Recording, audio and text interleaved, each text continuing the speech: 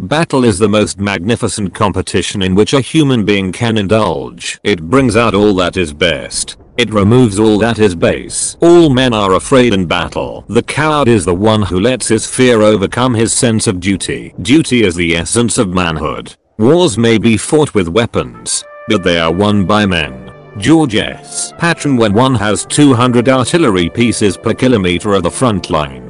He does not report contact with the enemy or ask for whereabouts. He reports successful breakthroughs and asks for further orders. Attributed to Alexander Vasilevsky Hey guys, they're called Astra Militarum now game workshop. Shortly before everyone proceeded to ignore them, the Imperial Guard, officially titled the Astra Militarum as of 6th edition, cause fuck your original name if GW can't trademark it, also known as the Wall of Guns, are the foot soldiers of the Imperium in Warhammer 40,000. They exist only to fight and die gloriously in the Emperor's name. Commissars, like Holt and Ciaphas Cain, ensure that they do so regularly, and any cowards or deserters tend to be summarily executed. During the Great Crusade, the Emperor only intended for them to be auxilia for his Spismarants, and to man masses of tanks, artillery, and aircraft. After Horus' little tantrum and the breakup of the legions, trillions upon trillions of humans were drafted to make up for the difference. Although these are, for the most part,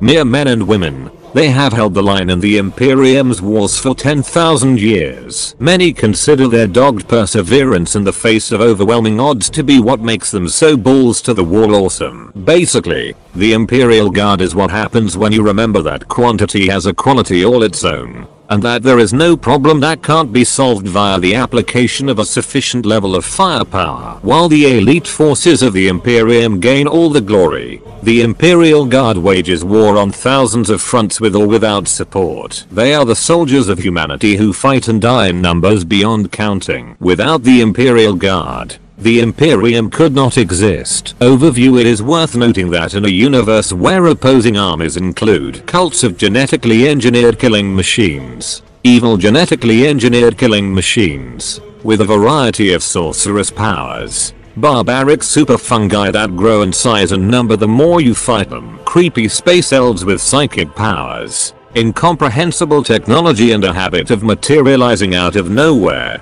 Evil pirate creepy space elves that literally get off on making others suffer, whose creative use of slaves makes an agonizing death seem merciful. Extra creepy space elf clowns whose motives are obscure even among the rest of the space elves and make it their collective goal to turn mass slaughter into a little art form. Samurai space communists with AI enhanced battle mechas, infinite firepower and cannibal dinosaurs in tow, endless swarms of screeching, hyper-evolved space bugs that, combined, spew voracious parasites and corrosive acid from more orifices than most forces have bullets. Nightmarish hybrid abominations that infest the darkest corners of your world until they breed enough thralls to overwhelm your armies and summon the aforementioned space locusts. Extra-dimensional predators that live to slaughter, corrupt, disease and violate mortal bodies before tearing out their souls to do it all again, but much slower. Martian Illuminati with ancient war machines, a monopoly on modern technology, and religious objections to humans attached to their original limbs. Multi-story bipedal mechas bristling with tanks sundering guns from head to man-crushing toe. Evil multi-story bipedal mechas which can do the same thing. Nigh immortal zombie robots that snuff out stars for kicks and fanatic warrior nuns who can heal themselves through prayer. The foot soldiers of the Imperial Guard take to the field equipped with nothing but flak armor, glorified laser pointers, a highly variable amount of training, some toilet paper and a pair of Mars pattern, titanium plated balls. In truth, a typical guardsman's equipment is significantly more effective than the gear fielded by any real-world mod nation. It's just that the threats a guardsman must face are often incomprehensible in comparison. As such, the guard makes up the difference with numbers, overwhelming firepower, and sheer nerve. In many cases the Imperial Guard will function as a sort of galaxy-spanning firefighting force, responding to uprisings, rebellions, and other threats as needed. When a world is threatened by a major invasion, the local PDF is expected to use its extensive network of defensive assets to hold the line until external help arrives. In the vast majority of situations, that help will consist of the Imperial Guard. In theory if not always in practice, the arrival of an Imperial Guard army is intended to end any such threats with or without additional help from specialist formations such as the Space Marines and the Adeptus Mechanicus. It would be a mistake to assume that the Guard's sole purpose is simply to help the PDF hold out until even more help arrives at some indeterminate point in the future. On the contrary, the Guard's purpose is to end the threat. They are, sometimes quite literally, the cavalry riding to the rescue. On that note, there's an important detail to remember here. While the Imperial Guard does indeed perform a defensive role,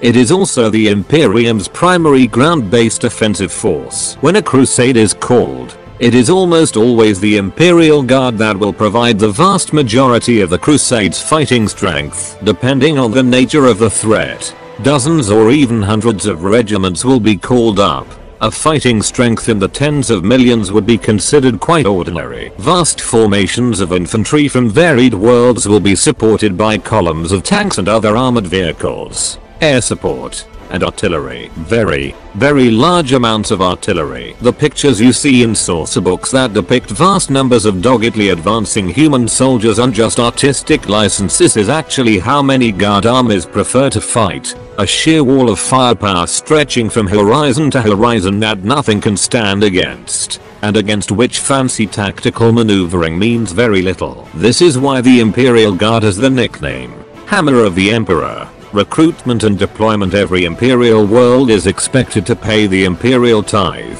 which is essentially a tax that supports the greater imperium. This tithe includes the expectation that the world will produce certain goods and resources, that it will comply with imperial doctrines, and that it will provide a regular levy of soldiers for induction into the imperial guard. The exact amount of soldiery that the world is expected to contribute is based on an arcane formula that even the most wizened member of the administratum would struggle to fully explain. Nevertheless, contribute each world must. For a governor who fails to meet the tithe will find no sympathy and risks being branded as a renegade. Aside from this, the quality of the soldiers being contributed is not necessarily important. Many worlds take great pride in drawing new guard regiments from the best and brightest of their PDF where such foundings are a matter of great pomp and circumstance. Many of these make a point of contributing guard levies far in excess of their required tithes. On other worlds, prospective recruits will compete with each other,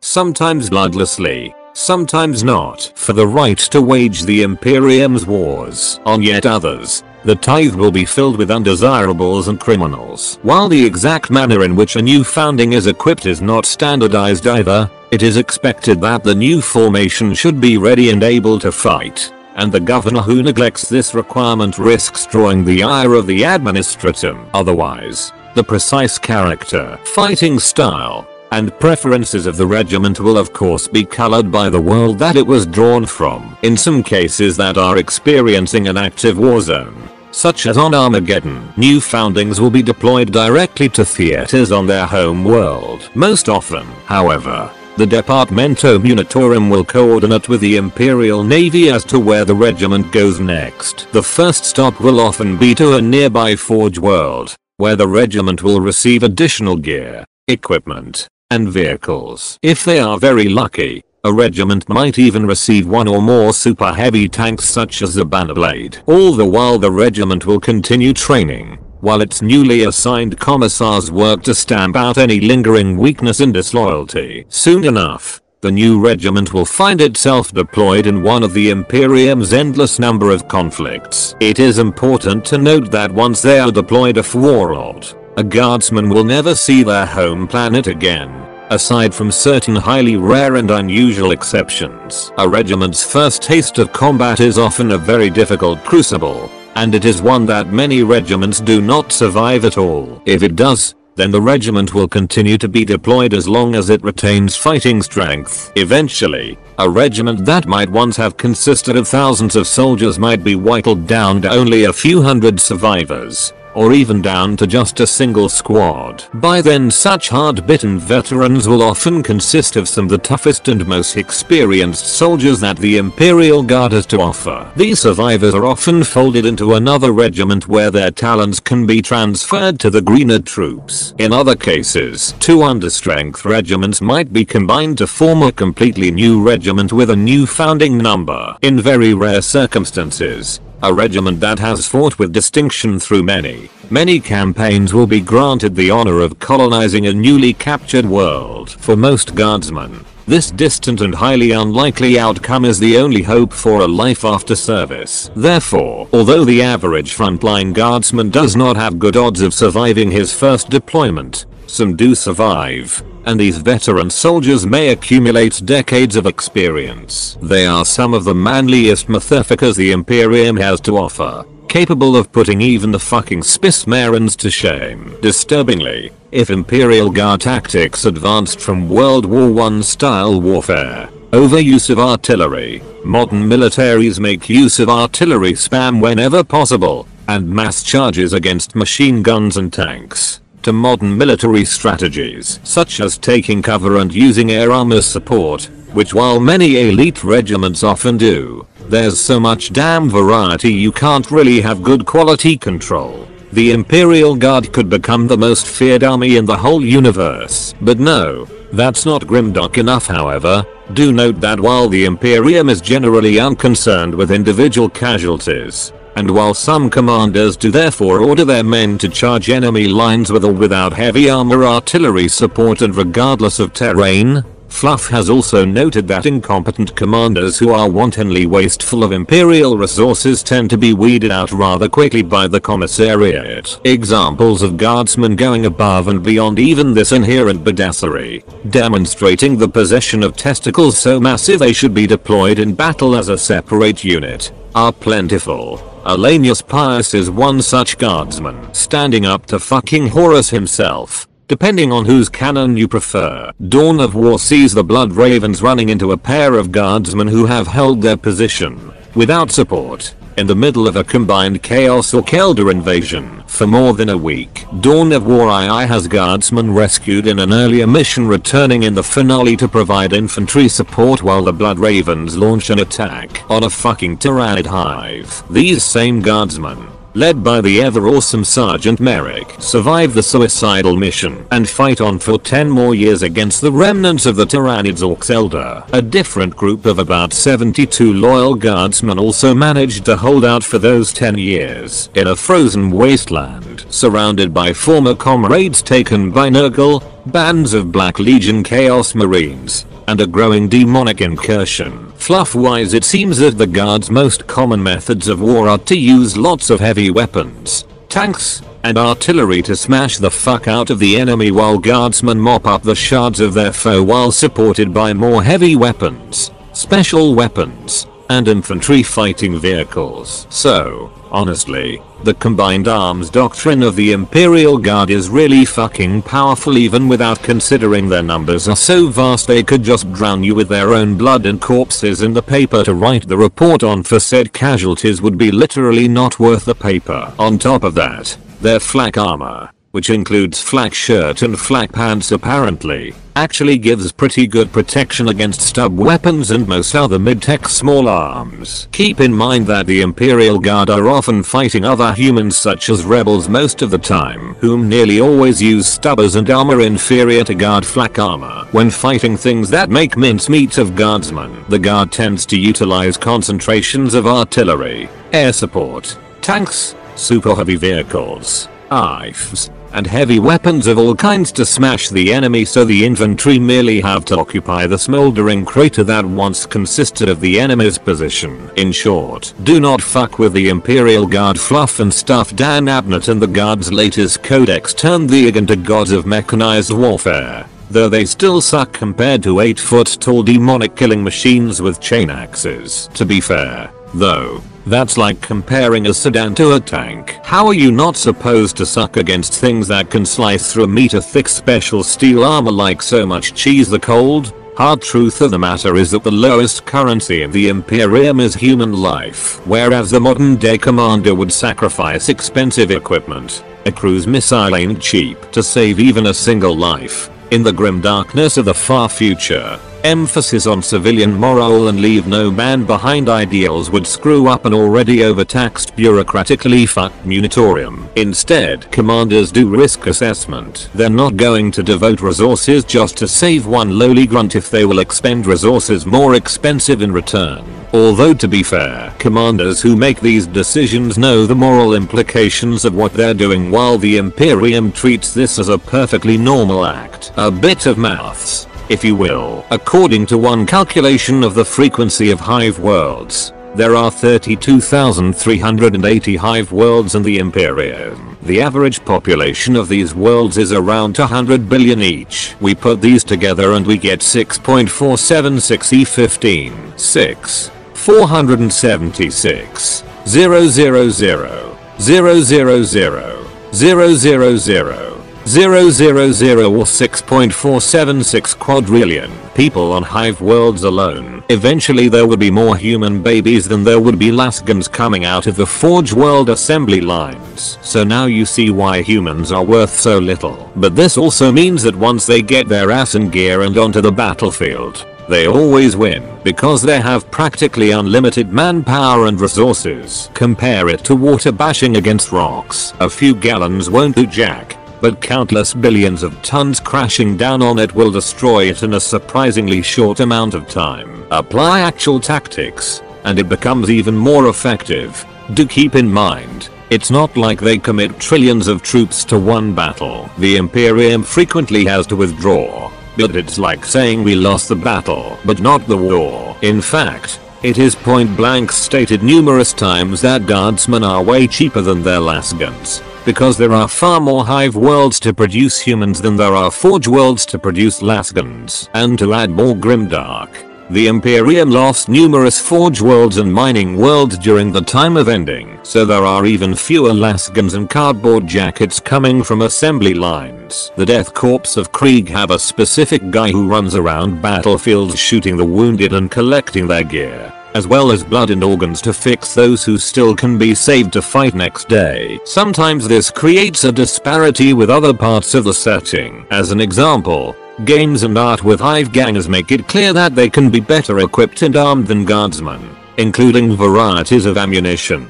such as exploding bullets, and fucking powered exoskeletons and thunder power weapon equivalents. Think of the Red Army from the Hollywood movie Enemy at the Gates. Soviet Russia they had a fuckton of soldiers to draw from but many were not issued spare ammunition or even rifles and were expected to loot supplies off dead bodies. On an individual level the Germans had the obvious advantage but send in enough cannon fodder to keep them pinned inside their city, then cut them off and they eventually cracked. But what the Imperium does have going for itself is the individual heroism of its protectors. The guard bears countless heroes, without whom the Imperium would have fallen ages ago. Notable heroes of the Imperial Guard include Ollanius Pius, Strachan Creed, Lord Solomacharius, Ciaphas Cain hero of the Imperium, Vance Matherfucking Stubbs, Yarrick, Sly fucking Marbo, Colonel Commissar Fething Ibram Gaunt and countless others. These extraordinary men and women inspire the masses around them to truly heroic deeds.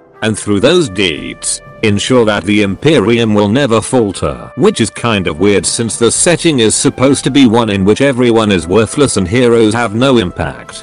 So I hear you guys are into thick big titty wafers. Well we got you covered at neckbeardia.co.uk. One stop shop for Kumjar models. However we do sell a lot more than just smut models we got everything for running any fantasy settings and even some not grim dark science fiction models. In fact we even have some anime inspired models and video game. But if models is not your thing we also have some role playing adventures and D&D 5e meme subclasses. Also every video we will be giving away all our homebrew content to a subscriber of the channel. All you got to do to be in with a chance is subscribe. Today's winner is this guy. Well done. Claim your prize by contacting us via email at neckbeardiacontact at gmail.com. Now let's get back to the video. Play style. The Imperial Guard are notorious for their Sigaud methodology. Shooty Imperial Guard army of doom for the less than nerdy. The basic lasguns are downright pathetic but can still be effective if used en masse. And we mean en masse. The effect is a little like how cavemen throwing rocks could still be a threat to fully armored knights. It only takes one lucky shot and they don't stop shooting until they get lucky. Scientifically speaking, the lasguns are strong enough that they damage most materials. Even space marine powered armor. It's just so minor against most foes that it doesn't matter until you get a hundred guys shooting at one target. Then it matters pretty damn quickly. Add in special weapons and heavy weapons and indirect fire like mortars all blazing away at an enemy and yeah. Also, a lasgun used with precise aiming is quite lethal as you can devastate any vulnerabilities of a target easily. For example, the Vostroyan Firstborn are famous for their great precision and it shows in the massive kill counts they rack up. Who the fuck knows why that isn't a requirement for guardsmen but it's probably because some goober in charge didn't notice and so never mentioned it in a memo to who cares. The IG has loads of vehicles. Loads of vehicles. Most of them are fairly cheap and pretty good for what you pay for, so it is quite easy for Igamis to have half a dozen vehicles or more in a medium sized game. There are four principal IG ground vehicles of note. First is the Chimera, which is the basic IG troop transport. In modern terms, it would be considered an infantry fighting vehicle, not a mere APC. It is not particularly fast, but it is reasonably durable. It has good firepower. It's cheap and the passengers can still shoot while inside. Bread and butter. It's also used as the chassis for various other vehicles. Overall it's far more useful than the Rhino. The second is the iconic Leman Russ battle tank. It is in every way a solid, dependable warhorse. Key features include the BFG on the turret, that can potentially fire twice per turn as of 8th edition, the optional heavy weapon sponsons, and the completely exposed engine in the rear. Apparently, they ran out of badass when they designed it. It is a very tough nut to crack. Third is the Sentinel. It's a support walker, and while not generally as effective as the other big three, it earns its place by virtue of utility. The Sentinel can serve as a reliable escort and scout while also providing useful fire support, featuring a decent variety of weapon options.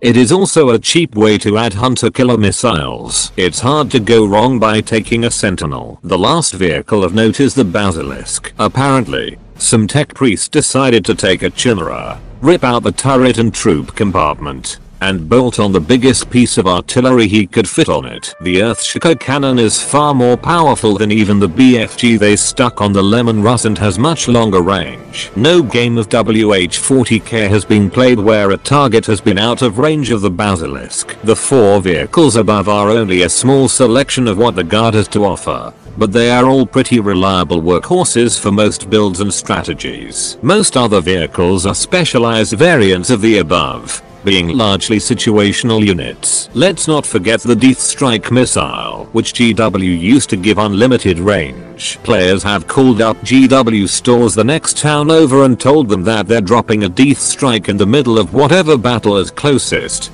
and they've accepted. The range is 200 inches as of 8th edition, but 16 feet is still ridiculous. Also of note is 6th edition's contribution of flyer units. The IG has the most non-apocalypse flyer units in 40k, and while some of them are absolutely useless for anything but flavor, some of them kick all kinds of ass. Triple twin linked lascannon, twin linked Punisher Gatling cannons, or a flying tank busting mega bolter kinds of ass to be specific. Rape from above. In summary, the Imperial Guard wins by having firepower, cannon fodder, and lots of both, transported in a massive variety of metal boxes. Unfortunately for the Guard, though, the Imperial Navy has a bad habit of taking ships that were designed to launch atmospheric craft in support of the Guard, such as Marauders, and instead sticks void combat attack craft inside, such as Furies, them. The result of this is painfully obvious if you're a guardsman on the ground. Not to say they don't have air support,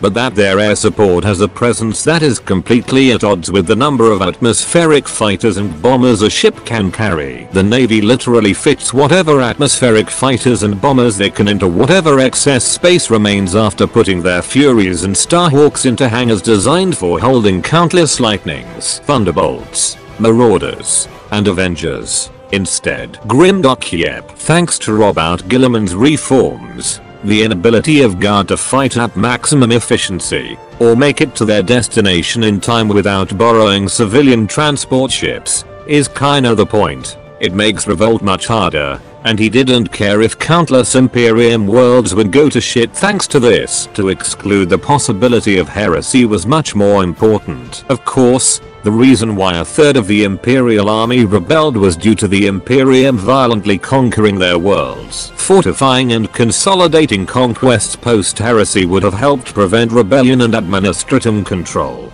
It was efficient back then, would have prevented the populace from feeling rebellious because their lives would be great. Damaging the guard only prevented them from doing their job and really, any rebellious guard regiments would be, and usually are, quickly annihilated by the loyalists surrounding them. Generally, they steal transports and Chaos Forges provide plenty of aircraft for them, defeating the point of weakening the Imperial Guard and actually making rebel regiments stronger. Enter the Hydra, the only tank designed to take out aircraft. That is badass. Screw the Navy. Hell, some regiments have a leman russ for every infantry squad do that with thunderbolts or lightnings in addition to the russ and yeah, Epic stomp. It's not inaccurate to think of tanks and the guard as the actual infantrymen and as the footsliggers as supplemental. So what's the catch first thing? The guard are quite good for what you pay for point for point. But they aren't exactly renowned for their individual resilience in the same way as Starks or Necrons are. Guardsmen are just T3 and 1W with a measly 5 plus SV provided by their flak vests. So most anti-infantry fire will turn them into red paste. This effectively requires you to bring infantry in bulk. In most other armies, orcs and tyranids notwithstanding, 70 infantry models would be a fairly large amount but for the guard, that's a paltry figure and you can reasonably expect all of those guys to be dead by the end of round 2. Their tanks fare somewhat better, the Leman Russ is their iconic mainstay and has T8 and 12W and a nice plus 2 SV so it can shrug off a lot more than the flimsy infantry squads, but lacking any native invuls or FNP or other tricks to mitigate damage. The tanks will still go boom if dedicated anti-tank concentrates hits on them. As anti-infantry massacre your squads in short order and anti-tank wrecks your vehicles in short order. This encourages a combined arms approach to play. As in modern military strategy in real life, synergy between different arms working together is vital to your success. The Imperial Guard suffer greatly from good target selection on the enemy's part and it can be tricky to deny their efforts. Sadly this means the Guard are an army where you can still lose even if you do everything right. For example, should an Eldar player snipe your key officer with rangers, blow up your artillery with fire dragons or get some banshees or wraith blades in your infantry line. You are in deep and even one of those things happening can ruin your game in the long run. Eldar due to their extreme specialization are perfectly placed to exploit destroying Imperial Guard keystone units which is why they are traditionally a bad matchup for Guard. But it's not just them. Many other armies definitely have the tools to put you in this situation. Ultimately, Guard is an army where you have a unit that can answer any situation but you'll have to get used to the idea of taking casualties and making sacrifices. And get smart at picking which vital unit is least vital to your long-term success. That,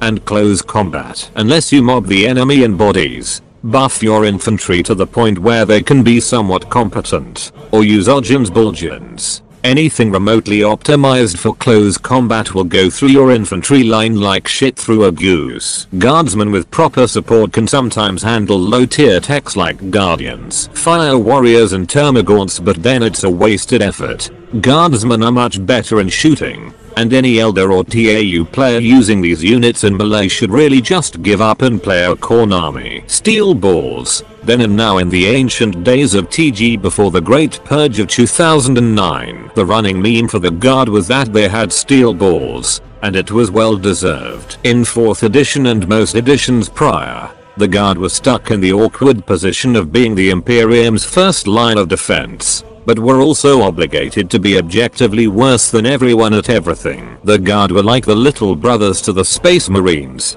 and when the marines got a tank that had spearheaded human dominance for millennia, the guard got a hand-me-down tank that used to be a tractor. This constant relegation, coupled with the guard's system of shooting anyone who backed down from a fight, gained them a reputation as being patently badass against all odds. Everyone was a bully to them, and yet they stood up tall and spat in every bully's face but in 5th edition, Robin Cruddace took the helm for writing the Imperial Guard, and since it was his personal army and these were the days of spiritual liege writing, the Guard have shaped into bullies themselves. Since that time, the Guard have been able to field some of the most devastating weapons the game has to offer, with the largest armored battalions, to create some of the most frustrating meter environments possible. Tanks variants were also introduced that allowed the Leman Russ to escape the thumb of the Space Marines, so the little brother stigma came to a close. In fact it's now treated as a major crunch advantage to have access to some of the guard's armory and design structure. And any competitive list will take the guard meter into consideration. It's a foregone conclusion that they'll be in the upper tiers of play. While it is logical that space marines would become an auxiliary to the guard given the lore, and their sheer numbers set victory by attrition to be assured in the long run, the factions that would rival them based on the stories, though would lose strategically due to imperial manufacturing power and organization, haven't held up well on the table. Orks, the most militant and numerous combatants in the galaxy, have spent many long years suffering from poor accuracy and inane tactical pigeonholes. It was, for example, Standard procedure for ork players to kill tanks by punching them because it's easier to have orks run after a moving vehicle than it is to get tank busters to shoot straight. As for tyranids, the other race beyond numbers, Cruddace was allowed to write their codex and they paid dearly for it. For the better part of a decade, the bugs have also been using limited options to jury rig solutions to basic problems that appear in every conventional 40k game. Over time, people quit talking about how badass the guard were. They aren't really underdogs in lore or crunch, and it's difficult to think of them as bold when you watch a guard player table your army in a single round of shooting. If anything, it's the orks and everyone else who are brave as all hell for standing up to the bastards or too stupid to stop, or both. Although, if you became a guardsman you'd probably go insane quickly from the horrific space monsters and demonic shit. So, still balls of steel, and their kit and tanks are so damn cool. Notable figures of the Imperial Guard Ciaphas Cain, hero of the Imperium, charming commissar in the Harry Flashman Edmund Blackadder tradition, Colonel Commissar Lord Militant Commander First Lord Executor Militant Ibram Gaunt, Rambo plus Sharp plus 40,000 King of Awesome, main protagonist of Gaunt's Ghosts, and a real hero of the Imperium, unjustly doomed to lowly obscurity. Commissar Yarrick, Old One Eye, savior of Armageddon, twice, known for having an ork claw on his arm, having a personal Baneblade, and a bizarre relationship with the ork warlord Ghazghkull Mag Uruk Thraka. Commissar Holt, Awesome cinematics are awesome. From Warhammer 40,000. Final Liberation. Don't you dare to simply call him Holt. Balam Commissar Dan but Commissar Dan says we're on a blaze for glory run Commissar Dan is a maniac never listen to anything he says. Also canon thanks to FFG. Commissar Fucklaw currently in service with the Angry Marines. Commissar Reach currently trolling Space Marines. General Stern Manly damn old son of a bitch from Dawn of War, Winter Assault, struggles with grammar because of the grit in his teeth. Lord General Castor, sporting a manly mustache and known for having a trophy room full of Tyranid heads. Ollanius Pius, the catalyst for the Emperor finally erasing Horus out of existence. Erased from canon at one point, later restored and as of the Horus Heresy book series the fluff for him is a bit complicated but he's still awesome in his own way. Vance King Stubbs, Another manly bastard, famous for losing a hundred Baneblades. Balam lies and chaos propaganda there is nothing written about the Baneblades being lost. Colonel I ate a Miral land shark for breakfast Straken. Yet another manly fucker and another solid contender for biggest balls in the Imperial Guard. Knight Commander Pask. Rain Man in 40k, an autistic Leman Russ tank ace that has destroyed titans and gargants. With a Leman Russ. he somehow manages to wreck his tank in every battle, always getting a new one and renaming it Hand of Steel. He's managed to claw his way out of hundreds of burning wrecks somehow. Kienel Grease, Straken's former commander and proof that the manliest fuckers the Imperial Guard have aren't necessarily the biggest. Lord Castellan Usikari Creed, famous for outflanking enemies with titans. Must have been the work of some sort of tactical genius Creed Merrick. Tough bastard who survived a Tyranid invasion. A chaos uprising. 10 years of non-stop combat and putting a gun to his superior's head. Also fucking strong, since he can carry an entire heavy weapons setup on his own. Sly Marbo. By time you have read this, you are already dead. Gone, just like Creed's ability to scout titans. Because GW hates awesome things. He's Barack. Doom Marine. Because, why the hell not Enginseers? All of them want to repair your own tank. Do you here's the fucking manual. By the way, it's heresy to do it yourself. Lord Commander Solar Macharius, a brilliant tactician who gets shit done, in fluff, and the most useless command choice from the 2nd edition codex. Imperial Guard who would habitually screw up your entire battle plan since he rolled for his strategy rating on a d6, which decided who got the first turn and 4-6 would stop you firing your army fucking pre-battle barrage. On a 6 you also had to put everything you had in reserve on the table. He also had no model and the fluff gave no idea what he looked like. Improved in 3rd aid when he got better rules and a model. Baseline stats are WSD 3 plus 2, BS4, S3, T3, W4, I4, a D3 plus 1, LD10 because he is slow in his old age. He has an initiative of 4, which is pretty bad, but he can potentially have 4 attacks with a master crafted power weapon at a WS of 5. He's still too wild of a character to use in a serious game, so save him for your fuck around games or apocalypse. In conclusion, he has a terrible crunch but have a ridiculously awesome fluff being as the most successful war master ever existed since the Great Crusade Colonel Schaeffer, the craziest, malicious, heinous and downright evil Imperial Guard officer to ever exist. Most other officers are either incompetent when battlefield tactics are concerned or egocentric to the point of believing nothing else around them has a pulse ultimately resulting in the average footslugger having such a brief lifespan. Colonel Schaeffer on the other hand, intends to make those under his command suffer in the most grueling, painful and surprisingly productive way possible. He is there along with them too. Colonel Jurten, nuke the living shit out of his own planet,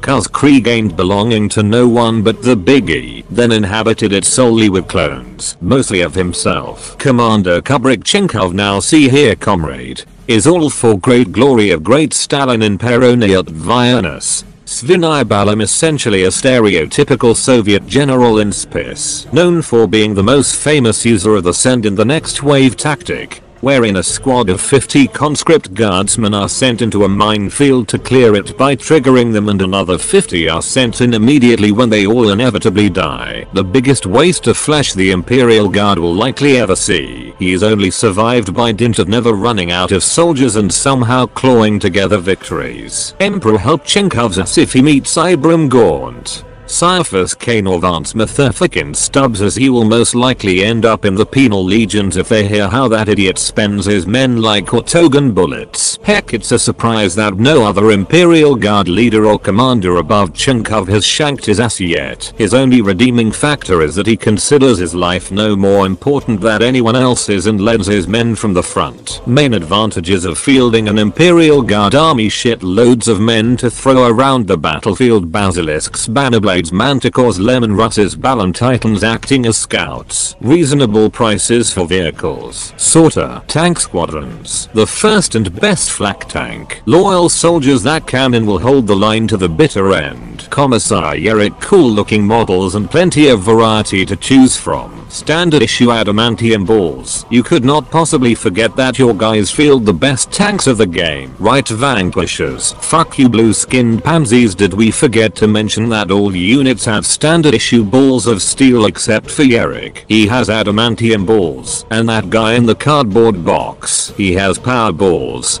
No one has ever been able to confirm what kind of balls he has. Except for your Malmaru one. No one fucks with slides any form of the word and lives to tell the tale. Downsides to being a guardsman highly fanciful scenarios that most likely will not occur during your glorious service as a guardsman while your local propaganda might say that being in the guard is the most honorable thing you could ever get into and it is here is a small list of things that will very likely never happen to you and are entirely preventable with forethought. Your trusty Lasgun, and endless faith in the Emperor. Heroic last stands not included, but encouraged greatly. You will die in the line of duty and no one but your family and friends will remember you unless you've done something that only a space marine could do in combat. Anyone can do it you're expendable in every sense of the word. Freedom isn't free and you're the currency that pays for it your commissar might execute you to make your friends fight harder. You deserve it. Your commissar might execute your friends to make you fight harder. They deserve it. Unless you're in a special forces division like the Kasrkin, you're really just a meat shield in large scale assaults. A glorious, spiffy looking meat shield. See how great this is your very own laser gun too bad it's a bad joke compared to everyone else's guns. You're just using it wrong. You can't even die when you want to. You don't want to be a quitter. Do you you might be. Mutilated. Disemboweled. Eaten alive chopped into meat chunks by a rusty slab of metal, disassembled into your component atoms, sacrificed to the chaos gods, left for dead, tortured for fun by xenos, mutants, heretics and zealots, stuffed with shurikens and lasers better than yours, or blasted by high power rounds from miles away. But you'll earn the eternal gratitude of the emperor you will be sent into hopeless situations and your superiors expect you to fight without retreating or showing cowardice. Just do it. No one likes a cribby you may be used as mine clearance by being marched through the minefield. That's right boys. You can teach those dastardly mines whose boss by blowing them up even if after losing your entire regiment, watching your last minute friends die horrendous deaths, and generally do the most gruesome work to win the day. The minute space marines come crashing down from the sky, they'll take all the credit for it. Even if the marines themselves attribute the win to you, they deserve it. Those same space marines might bomb you and the civilians you're trying to save into mulch because you're too weak to be worth rescuing. You deserve it, weakling. You will be taken from your home planet and dropped on the other side of the universe to fight in a war you didn't know existed. Think of the interesting people you'll meet and then subsequently possibly kill you will never see your home planet again unless you are stationed there. In which case it is likely under siege by yet another one of the Imperium's foes and will likely remain so for the remainder of your short life. Think of the interesting places you'll see and then subsequently blow up 5 million of you dying under a 4 hour assault by orcs is considered a flawless victory by Segmentum Command. Then again that would likely be either a very large orc warband or a Waaagh. So good job. Better than 5 million and one. Am I right if you fight alongside Grey Knights you will be blammed or min-fucked and lobotomized after the battle in the interest of secrecy. Grey Knights don't exist. That's silly. Hell, just fighting chaos has a slight chance of you getting disposed of after the battle because the Inquisitor investigating your regiment thinks that you may be a slight bit tad tainted. You wouldn't want to spread that taint would you even when your army are the only ones that still uses combined arms warfare. Your army still sucks since it's routinely losing entire brigades, complete with armor vehicles and aircraft to any single bog standard space marine and or xenomorph. But not you your buddies and you can definitely take M god forbid you dare complain. Fucking commissars. Morale must be maintained memorable quotations Astra Militarum symbol JPG enemies of the Imperium Hear me, you have come here to die. The immortal emperor is with us and we are invincible. His soldiers will strike you down. His war machines will crush you under their treads. His mighty guns will bring the very sky crashing down upon you. You cannot win. The Emperor has given us his greatest weapon to wield, so make yourselves ready. We are the 1st Kronos Regiment, and today is our victory day Governor Militant Lucas Alexander The meaning of victory is not to merely defeat your enemy but to destroy him, to completely eradicate him from living memory, to leave no remnant of his endeavors, to crush his achievement and remove all record of his very existence. From that defeat there is no recovery. That is the meaning of victory. Lord Solar Macharius what is the strongest weapon of mankind the god machines of the Adeptus Mechanicus know the Astartes legions know the tank the Lask and the fist not at all courage and courage alone stands above them all Lord Solar Macharius though our tanks and artillery are mighty. It is the vast ranks of Imperial Guardsmen that shall trample the enemy to dust. Let them come Creed I have at my command an entire battle group of the Imperial Guard 50 regiments including specialized drop troops, stealthers, mechanized formations, armored companies, combat engineers and mobile artillery. Over half a million fighting men and 30,000 tanks and artillery pieces are mine to command. Emperor show mercy to the fool who stands before me, for I shall not. War Master Demetrius the enemies of mankind may employ dark sciences or alien weapons beyond humanity's ken, but such deviance comes to naught in the face of honest human intolerance backed by a sufficient number of guns. Drive me closer I want to hit them with my sword. Originally a meme that started from a picture of a commissar standing up in a tank hatch brandishing his sword. The phrase became so popular it is one of Commissar Lord Burns and campaign skirmish multiplayer lines when he gets in a chiller in Dawn of War II. Retribution. Look at me. Look at me this is home now. Trooper this is the zone it doesn't like you. It's by the throne. It's where you are the emperor wants you.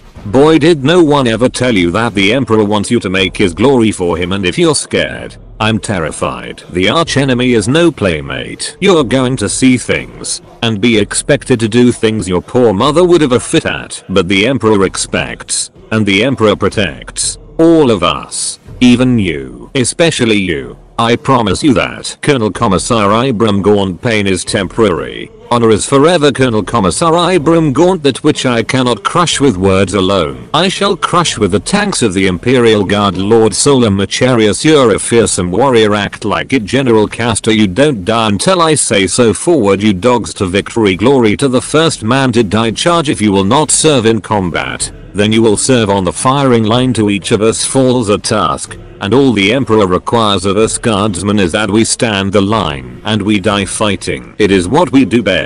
We die standing. General Stern. Dawn of War. Winter assault only in death does duty and Stern alright men time to wage to war Stern a true servant never yields to doubt General Vance Stubbs remember we have more numbers men sergeant and skirmish multiplayer line from Dawn of War II retribution let's see them fight all of us guardsmen. Dawn of War Soulstorm for each one of us that falls 10 more will take its place guardsmen. Dawn of War Soulstorm we died so that others may live. Unknown Brimlock Dragoon Infantry wins firefights. Tanks win battles. Artillery wins wars. Tactica Imperialis a guardsman's life is to die. My job has always been to send them where they can die. I'm not afraid to spend men. But I never waste them General Castor your foe is well equipped, well trained, battle hardened. He believes his gods are on his side. Let him believe what he will. We have the tanks on ours. Colonel Joachim Fief. Krieg 14th Armored Regiment A good general does not lead an army to destruction just because he knows it will follow. The Tactica Imperialis led by Epitaph be this. I was born nameless and abandoned in the gutter of a sunless pit, but I have died a conqueror of worlds. Reputed last words of Lord Militant Ares Slave peace is not in my vocabulary. Commander Jeremordica of the 13th 5th Support Regiment A good soldier obeys without question. A good officer commands without doubt. Tactica Imperialis a piece of writing that explains the Imperial Guard at the end of the day. Though he's been ferried through hell on a ship that's 10,000 years old to some god-forsaken, war-torn rock. Though he deployed from high orbit with nothing but a grav chute Though he is one of 10 million men and women snatched from his home world to fight a war he barely understands, though he has been given a weapon that fires small suns and may annihilate him as he fires because the knowledge of how it functions has been lost, though his company is supported by tractor tanks that run on anything you can burn, though he wages war against a devouring hive mind, ravenous demons and hordes of hyper advanced aliens with strange technologies and sorceries he never dreamed existed, no one will remember his sacrifice. There will be no records of his deeds, no glorious parades in his honor, and no remembrance of his name. All he will earn is a shallow and marked grave on a forgotten world untold light years from home. Yet for all this thankless sacrifice a guardsman is a man. Just like you, he has no millennia old genetic engineering, no prophetic leader, no miracles of faith. He has his lasgun, his orders, and those beside him. He is an imperial guardsman, and he will hold the line. Now in manly tear inducing audio format another piece of writing. Pity the guardsman pity the guardsman. A weak sack of flesh destined to die for a dead god that never cared. He spends his pitiful, brief life, alone in his foxhole with nothing to keep him company, or to keep him safe, than the cheapest, most disposable of equipment. Perhaps the glow from his lasgun barrel keeps him warm at night. Me as a servant of the powers I enjoy the delights of all this world and the warp has to offer. Power. It courses through my veins. The gifts of the chaos gods will soon overtake me, and one day I may even ascend. What is the guardsman to look forward to but a grim life? And if he is lucky perhaps he will feel nothing as my axe sends his soul to Khorne.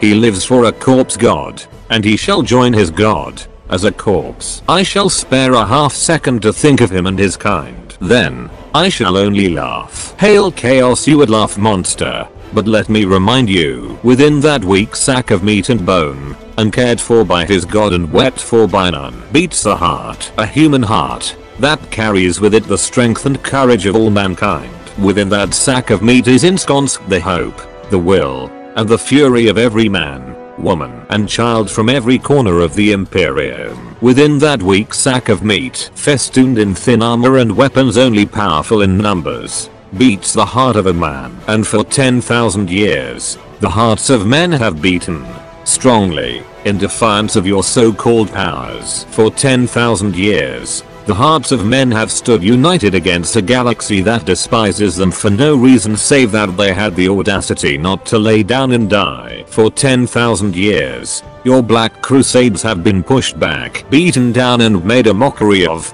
by weak sacks of flesh with cheap weapons and disposable equipment. For that weak sack of flesh that you so gleefully mock is no super soldier, no immortal warrior, no creature cursed by chaos like you. He is a man an imperial guardsman drawn from some forgotten corner of the Imperium to fight for his species and for the safety of the people he loves. He is a factory worker, a farmer, a storekeeper, a father, a brother, a son, a mere man, and against creatures like you, teeming and numberless, powered by the very will of thirsting gods. He holds the line. He has held the line for 10,000 years. So what's your excuse? Monster Ultimate Imperial Guard forces because GW was too lazy to create an original themed Imperial Guard army. They basically used RL armies as a base for them, gave them a little touch of grimdark, assorted amounts of tempered ceramite balls and placed them III inspire Cadian shock troops,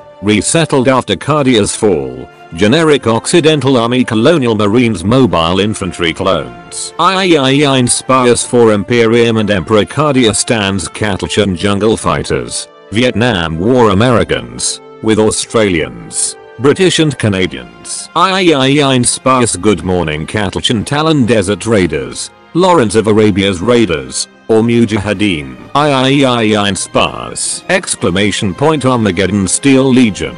Wehrmacht Mechanized Divisions. III inspires für den Imperator. Feuer frei Valhalla Ice Warriors. World War II Soviet Red Army. III inspires Zarodinuzai Imperatora Nishagian Nazad Mordian Iron Guard. Napoleonic Prussians. Spiffing blow uniforms. Iron hard discipline and ranked fire. III inspires Gott Kaiser mit Death Corps of Krieg. World War I's Western Front. Both sides, Offensive side. I, I, I in space now that we're in space. Imagine what the clone army in Star Wars might be if Lucas liked Grimdark as much as he liked CGI and revising the original trilogy. Gilead Gravediggers. World War I's Western Front. Both sides.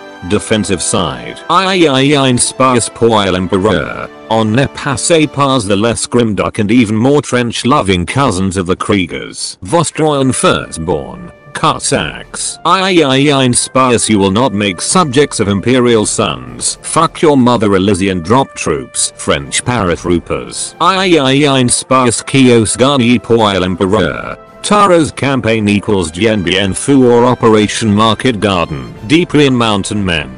World War II Italian Army Alpini Corps. I I I inspires Nessina Montagneri Grave Troppo Alta Panoi. Per el Imperator Harakoni Warhawks. American paratroopers. I I I inspires Green Light Let's Go Tanith first. And only. Roman era Celts. I I I inspires Dwino FN. On Dylan Fiat and Rough Riders. Mongols Huns. I I I inspires. Yes. Again. Savlar Chem dogs, post-apocalyptic raiders, and a bit of the Vietnam War tunnel rats. I I inspires they rule Barter Town. Get out of here guardsmen. Tarex Guard. World War II Soviet commissars. This is essentially a commissar regiment with extra steps. I I inspires Toko Vian I Viagraverd Dan Drukian Fen Guard. Anglo-Scottish border reavers. I I I inspires a godne pants on under my kilt so I can drape balls on your face while ye choke on your own blood. Ye ninny little wanker Praetorian Guard. Victorian British Army. I I I inspires Praetorians never yield. Ever seen the movie Zulu like that? But against Hawks. And yes that is a bit racist when you stop and think about it but oh well. Just give your officer darker skin tone. Not like anyone who isn't a major that guy would care about that in real life. Kanak skull takers. Cavemen with some Apache. I I I inspires me Tarzan. You dead Brontian long knives. Australian crocodile Dundee swordsman. That's not a knife. That's a knife. I I I I inspires guns too modern to my taste. Fantine Air Corps. Battle of Britain RAF. I I I inspires flip over on his Betty Harper and catches Canim the Verti Fantine Skyborn. British sass. I I I inspires who dares wins. Scintillant Fusiliers. 18th century French aristocrats. III inspire squeals mangent de la brioche likely doomed if their commissars get an STC for a portable guillotine. Ventrillian nobles. 16th century Spanish conquistadors. With some WHF battalions. III inspires poor Ventrilia. El Imperio y el Imperador Maccabean Janissaries. Ottoman Empire's elite corps. III inspires Amina Koyim nobody cared who they were until they put on the masks. Indigan prefects. Monster Hunters. III inspires certified Imperium Beast and Pest Control. Jock Indentured Guard. Corporate Debt Bondage Soldiers. II inspires for Profier I mean for the Emperor Athonian Tunnel Rats. Vietnam War Tunnel Rats, and a bit of post-apocalyptic raider flavor. This feels familiar. I inspires Solar Auxilia, the first iteration of the Imperial Guard, significantly better equipped than their latter-day counterparts. With such a large and diverse collection of units and the Imperial Guard that puts even the Space Marine armies to shame. You'd think that you'd have plenty of options for fielding an army.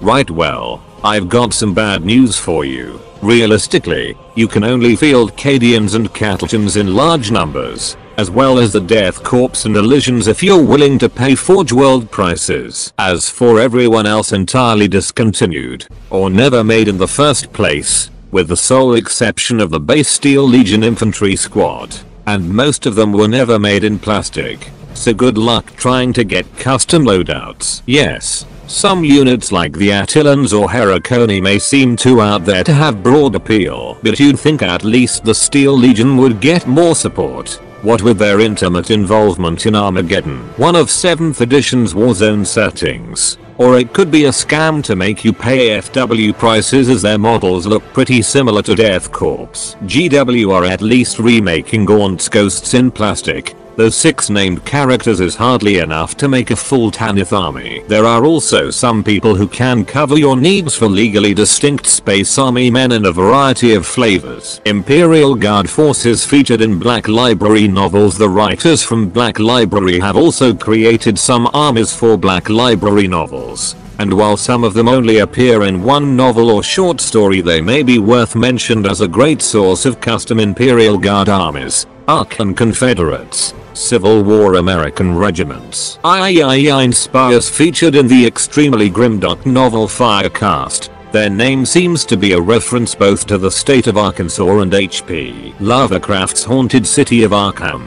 Also their home planet is Providence. So yeah, they just came out of a civil war between loyalists and rebels, with their average troopers getting the slang of greybacks. Their culture is akin to America's 19th century with a bit of northern barbarian for some measure. While the Adeptus Mechanicus have enforced Mars dogma and nobles still have a tendency to tweak and build their own machines as a form of omniscient worship, which have resulted in Jumpak Sentinels and the Zouave's clockwork power armored elite soldiers, which are capable to stand their ground against TAU battlesuits progress. Also their Psykers usually come with a northern tribesman guardian who is tasked to chop the Psyker's head in case it gets perils of the war. Roane Deepers. Anzac. III inspires featured in Ghost Mookers and Necropolis by Dan Abnett. They fought with the Tanith first, and only, during the Sabbat World's crusade on Vervunhive. Light infantry and poorly equipped courtesy of their home world being far down the Departmento Munitorum's list.